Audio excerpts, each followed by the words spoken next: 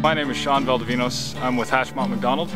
Uh, we're working with uh, Schlaich Bergermann and partner to design the Boy Scouts Bridge, the wingtip bridge. So we, have come out to site with uh, preliminary drawings that kind of show where the foundations will be and, and the, the, terrain as surveys picked it up. And the, the, purpose of this visit is to verify that we feel comfortable with, with where things are. And that basically confirms the geometry of the bridge.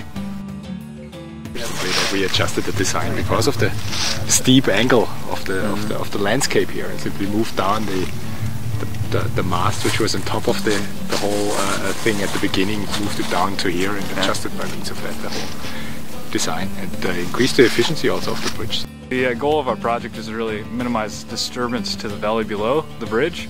And there's a little creek that kind of runs down in the bottom here. And uh, that's all going to be kept natural and, and the, the slopes are pretty gradual with some trails skirting either side. And so the scouts will be able to come down and, be able to see the bridge from underneath in this kind of natural habitat. And from where we're standing it's going to be about nine stories up to the bridge deck. And uh, you'll see the, the cables coming underneath the, the main deck. And you can just visualize the scouts kind of shouting down to each other and shouting up to each other in this uh, wooded area. Pretty exciting. Trails coming up and down the valley, they're going to be awesome when you're crossing yeah.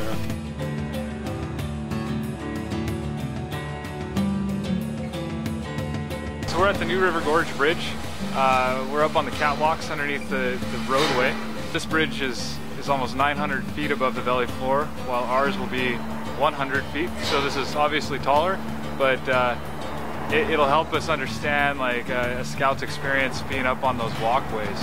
On this bridge in particular, it's a highway bridge, so vibrations aren't as big of a con concern, but when you're walking on the bridge, you really feel it.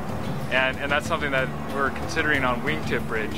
Uh, the secondary walkways, you are going to feel the movement, um, but vertical movement is actually more comfortable than lateral movement.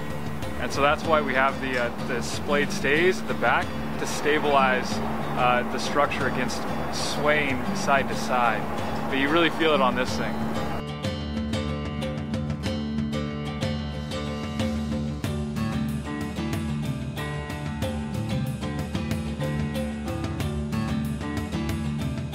But I knew during the competition when I saw this bridge we could do something great with the Boy Scout.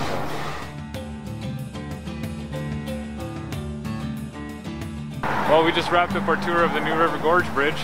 Uh, very educational. We're hoping to put that all together and uh, put it into the Wingtip Bridge. Uh, we, we'll see you in 2013.